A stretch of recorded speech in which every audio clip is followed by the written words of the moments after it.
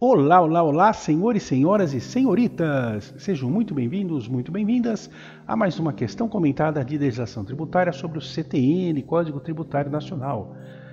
Aqui vos fala o professor Luiz Miranda, com compromisso, objetivo, a ideia, a missão de trazer todos os dias aqui no nosso canal pelo menos uma questão de concurso comentada em vídeo para ajudar na sua preparação.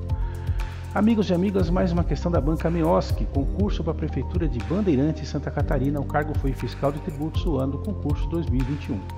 O CRE tributário regularmente constituído somente se modifica ou extingue ou tem sua exigibilidade suspensa ou excluída nos casos previstos no CTN, fora dos quais não podem ser dispensadas sob pena de responsabilidade funcional na forma de lei a sua efetivação às respectivas garantias. Nesse sentido, marca a alternativa correta. Uma questão do tipo positiva, temos que encontrar a opção certa.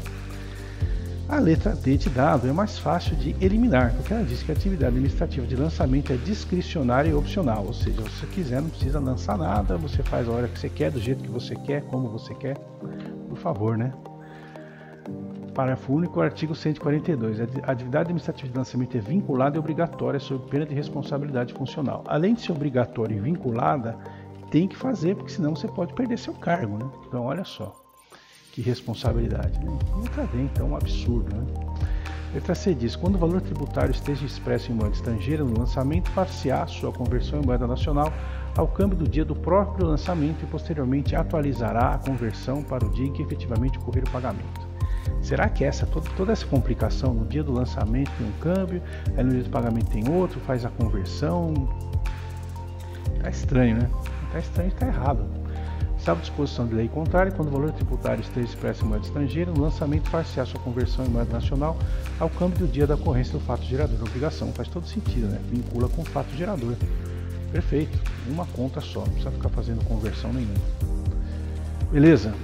É, nós temos aqui que a letra A fala que o lançamento não reporta-se. A gente tem o primeiro erro aqui, né? É um erro de português grave, né?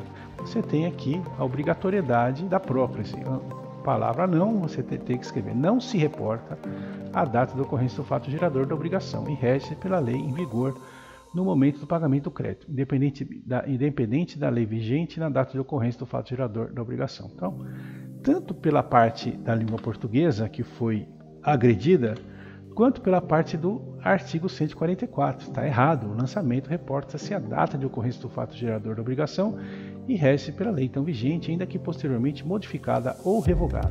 Então, totalmente errada a letra A. Gabarito letra B. Compete privativamente à autoridade administrativa constituir o crédito tributário pelo lançamento, assim entendido o procedimento administrativo tendente a verificar a ocorrência do fato gerador da obrigação correspondente, determinar a matéria tributável, calcular o montante do tributo devido, identificar o sujeito passivo e, sendo o caso, propor a aplicação da penalidade cabível.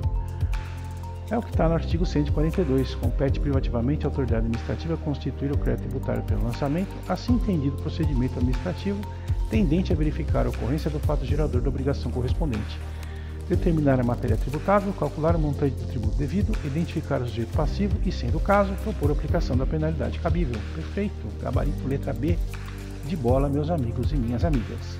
Espero que vocês tenham acertado. Se ficou alguma dúvida, mande seu comentário, que a nossa resposta costuma ser rápida.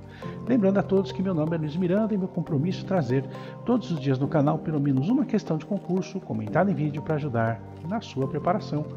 Forte abraço, até o nosso próximo vídeo e valeu, valeu, valeu!